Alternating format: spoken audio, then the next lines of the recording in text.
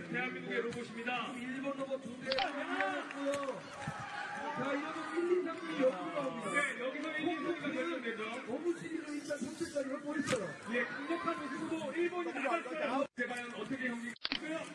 아, 일본 팀이, 아, 하지만 9위로 끝나는 공격. 네, 왜냐면 강력한 우승 후보기 때문인 거죠. 네,